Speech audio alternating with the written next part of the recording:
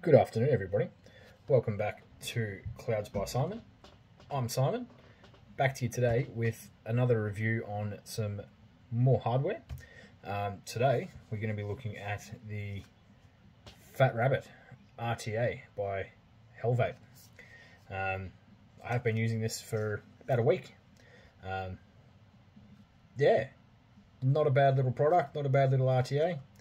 Um, thought I'd uh, thought I'd give it a test run, give you my thoughts on it, and um, go from there. So as you can see, packaging we've got Fat Rabbit breakdown on the side there, all the inclusions on the back. I'll get to that one in a sec, and just basically Fat Rabbit on the side. Obviously, all your scratch and sniff and barcode and making color and all that fun stuff there. On the back we have features a 28.4 diameter RTA, gives best vaping quality and massive cloud. Dual airflows, dual airflow system for various air intake and airflows and, and flavors. Sorry, postless build deck. Blah blah blah blah blah. Single and dual configuration quarter turn deck and top cap install and refill easily. Uh, changeable drip tip, all the usual. Um, parameters 5.5 mil tank, 810 drip tip. Top bottom airflow kit includes Fat Rabbit RTA 5.5 mil, straight glass tube, set of NI80 fused Clapton coils, some shoelace cotton, coil cutting tool, accessory bag, user manual all the usual stuff. So, there we are. Enjoy your vaping.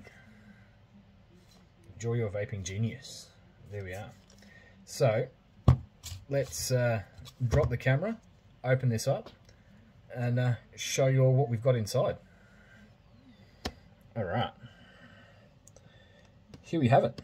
The Fat Rabbit RTA. Like I said, already been over the box, so there's not really a whole lot else to go over with that. Nice little orange box there. That comes up and your RTA will be displayed like so. You've got your extra little straight glass. Why that didn't include a bubble, I don't know. A bubble on something this tall might look a little bit strange, I suppose. Not 100% sure. We'll get him out of there. He's a bit tight. There we are. We'll come back to that shortly. We'll go over what else is in the box. And I've already been over it with the packaging, but uh, all right, we've got a screwdriver, coil cutting, coil cutting tool, whole bunch of O-rings, some grub screws, cotton, coils, user manual, see how many languages we can learn with this one. Uh, what do we got? Spanish, French, German, and English. So there you go. You can uh, learn a few different languages if you're that keen. Don't need any of that as I'll be using other coils, other cotton, and all that to go with it. So we don't need that anymore. Alright, let's have a look at the tank itself. Comes with a great big 510 drip tip, sleek quarter turn. We've got some nice little knurling around the top. So in uh, Hell, Hellvape's fashion, they've stayed with that. It's very similar to all the other uh, dead rabbits, drop deads, all that very similar side of things. This massive concave, sorry, not concave, massive, you know, massive mountain in the middle there to go with this huge filling port. Look at that, like that is massive. That is deep, like it is huge. Massive holes. Um, you know, heaps of room there, heaps of room.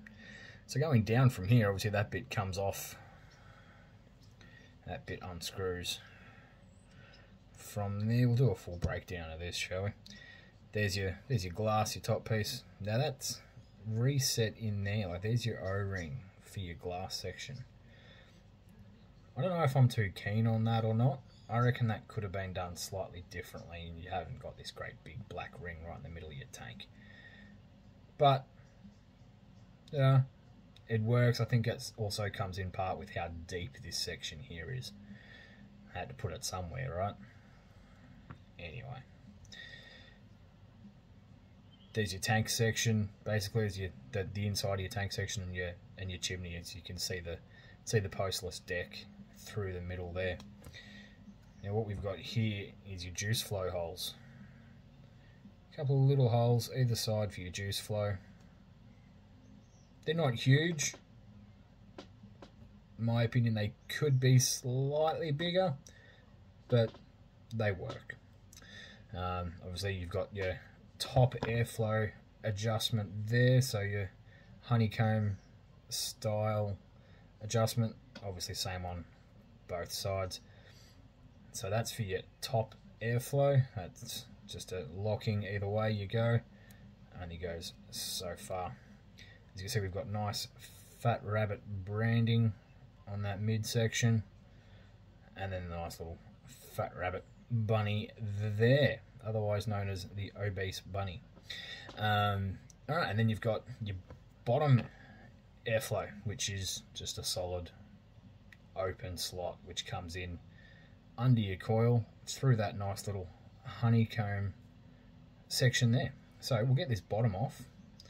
Now this is rather tight, so I have actually uh, made it somewhat easier slightly for myself and not put it all the way on for the purposes of this review, which is still very goddamn tight.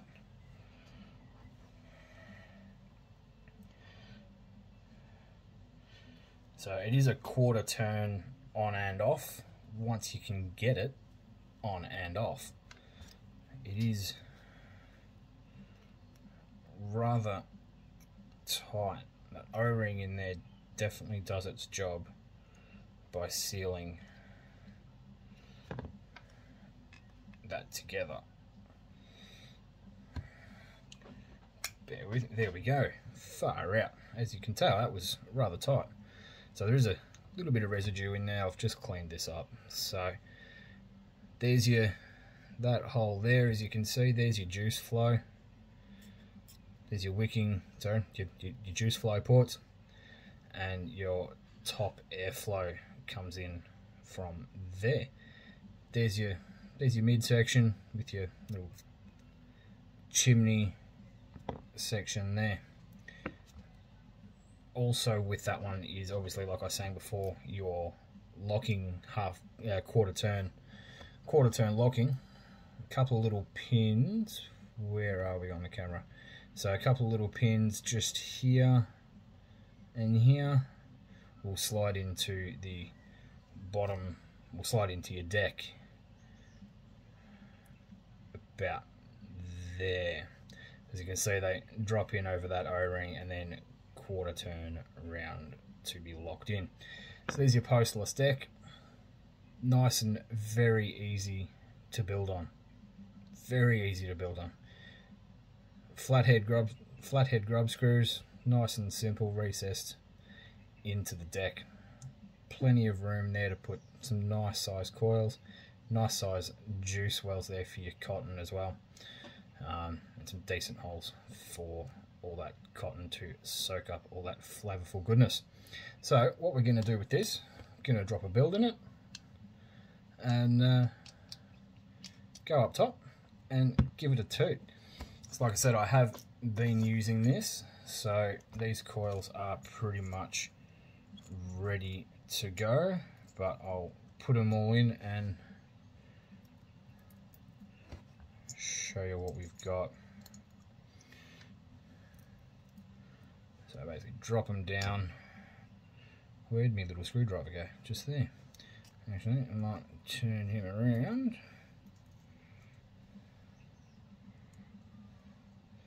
Obviously, any time you're playing with coils, you want to make sure that you get all your hot spots out and all that. No matter how many times you've pulled them in and out, things can change. So, I think, I believe recommend to cut these at about 5 mil. Will give you a good leg length into the bottom of that deck.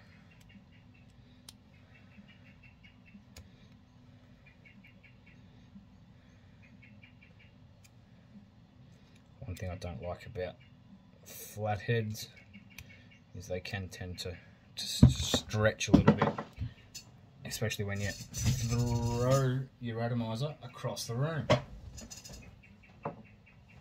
When you drop it under the desk.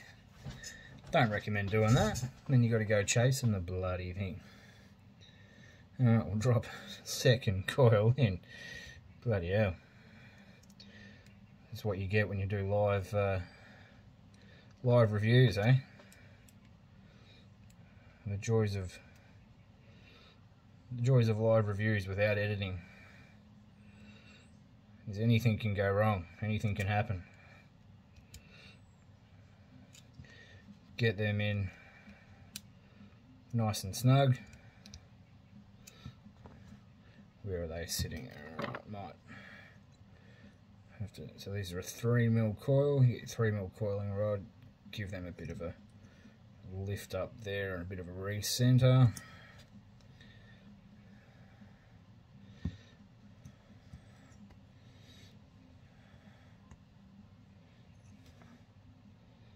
There we are. Nice little build. So if we line that up with your middle section there and your airflow, they should sit, let's go sideways, so that's how they're going to sit. They're going to sit pretty much bang on that side airflow. It's going to go really well. Alright, let's throw this on a mod. Double check all these hotspots just to make sure considering you know I've just thrown it under my desk and had to uh, realign things. Alright, so that's they've aimed in exactly where I wanted them to, which is good. So we'll just turn him down just a touch. Get a little bit of heat into them. Sorry, just so I can see what's going on there. And as I thought, I would have had a bit of a hot spot in that coil there which they're now both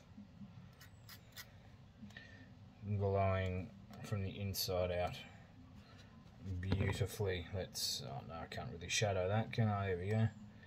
Have a look at that camera's showing one's a little bit quicker than the other. But that's uh, that's the camera. That's not the that's not the build. All right let's get some cotton into this. As usual, I'm using some Muji that I've might let them cool down a touch before I put that cotton in there.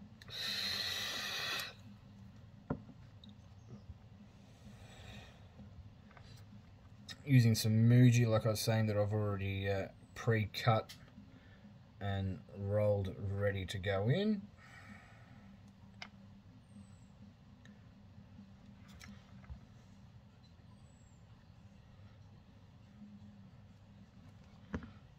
which doesn't uh, doesn't feel like playing the game today. It's alright, we have another end which we can twist up and try again. Here we go. Nice. Not too tight, not too loose. As they say, it's just right. Get their second one in.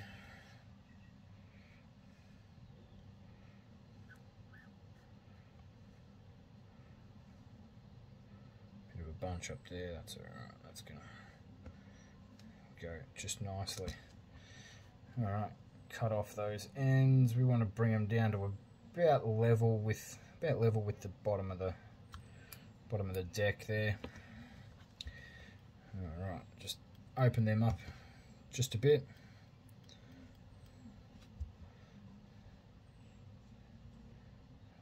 Tuck them in there. That might actually be a little bit too much cotton. Actually, it might be a little bit too tight. So I might just pull them through that way. I can always cut off from the other side. Much easier to uh, do one side at a time. If you've got too much, too less, you can still pull some through or uh, take some out, add some, whatever, that way you've, you know, much easier. you've Still got all this to play with. Cut him off.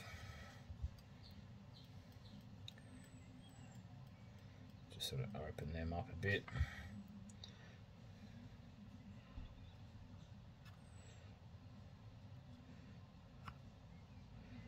Tuck him in there like so. Make sure that she's not too tight in that little well there.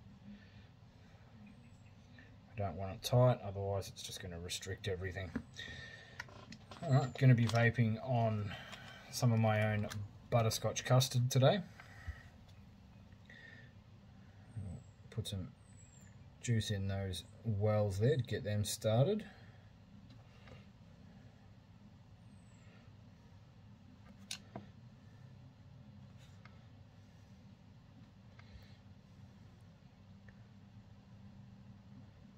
get these wicks nice and juicy. Obviously I've over dripped a little bit there, so some's run down the airflow, which we'll have to catch that on the other side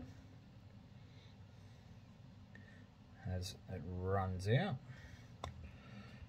The joys of building and uh, making a mess everywhere, and like I said, building live on camera, you, you tend to run into some of these issues. Alright, let's get a bit of heat into these coils.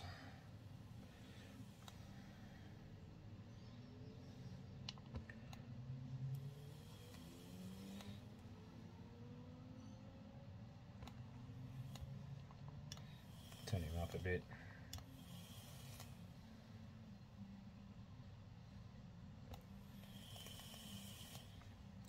that nice little nice little sizzle we've got going on there. Very nice. Alright, now let's uh, see how much of that juice ran out the uh, ran out the airflow there, huh? Use a bit of cotton to soak up anything that's going to drip out, which doesn't look like there's going to be anything there. That's alright. Beautiful, no mess. Wonderful. Now, get this section back on. So like I said before, it is rather tight. So we'll put it back together here on the mod. That just, oh wow. I mentioned it was tight. And it uh, slides in piece of piss first shot. What are the chances, hey? Sometimes things do work out on camera.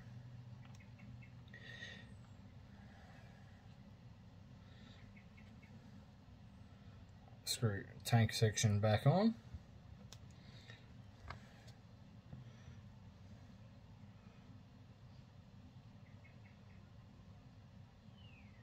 Put some juice in there. Fill him up nicely.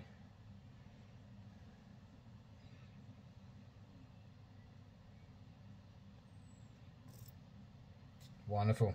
As I said before, they're uh, they've kept with a very similar style to previous dead rabbits, drop deads.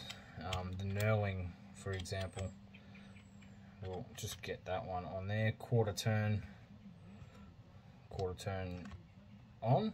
Yep, there we are, quarter turn on. So, for example, the very first dead rabbit RTA, the knurling on that now they're pretty much identical. So is the blue, actually. The blue is very similar. it's very, very similar colour. Uh, obviously, that is a few years old now, so that may have faded over time with use. Um, the locking mechanism on the OG, obviously, we all know how much of a pain that was with that deck to get those pins lined up.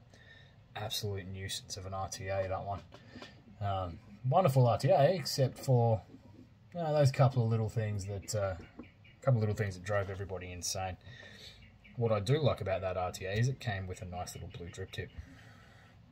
Let's get rid of this black one off here. Put this nice little blue matchy matchy. Wonderful. All right, let's take this up top and have a toot. All right, guys. So there we are. Fat Rabbit RTA by Hellvape. We'll pump him up a little bit, get a little bit more power into him. There we are.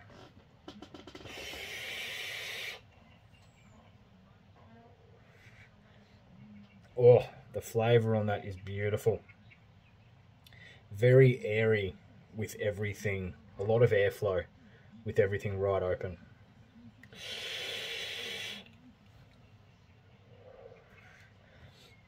If we close off that bottom airflow, let's let's give that a crack.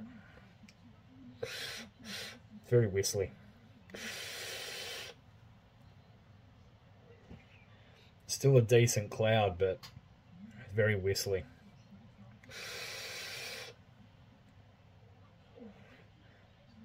Let's open up that bottom one. Let's close off that top one. Let's see how we go bottom airflow only. Very restricted.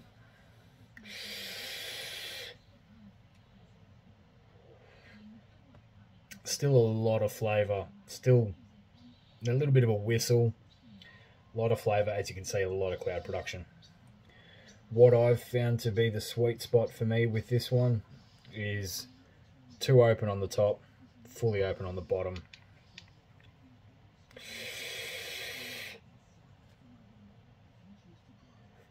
Beautiful cloud production, wonderful flavour, and just the right amount of restricted airflow. Just the right amount of airflow.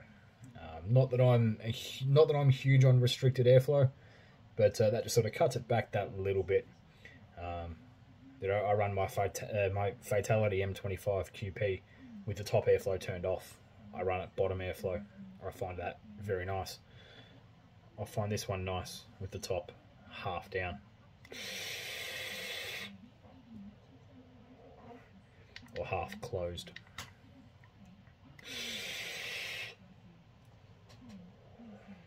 So there you have it guys. There's the Fat Rabbit RTA by Hellvape. It is very nice. I went with the blue something a little bit different to the rest of my gear. Obviously, you saw the blue dead rabbit there before. Um, I like Hellvape's blue. It's a nice blue. It's a good colour. Um, it is a wonderful tank. Like I said, I've been using it for the last week. I'm going to continue to use it.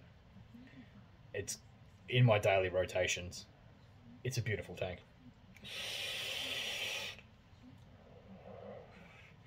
Anyway, guys, as per usual, subscribe, like, notifications, all that wonderful stuff that we all do to support our viewers that we enjoy watching. So please do that. Give this a thumbs up if you like it. Please don't give it a thumbs down because we all should like everything that we watch.